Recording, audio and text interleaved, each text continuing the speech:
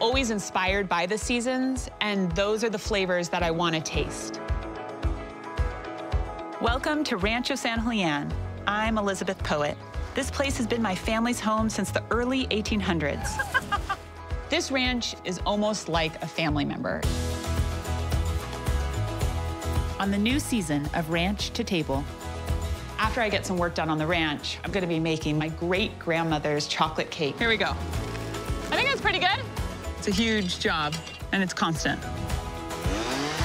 Come on, girls. Hey, hey, hey, hey, hey, hey, hey! it's all about sharing meals with friends and family from what we grow and raise here. I think it's really important to get different generations together. Can I have more meatloaf? There you go, sweet boy.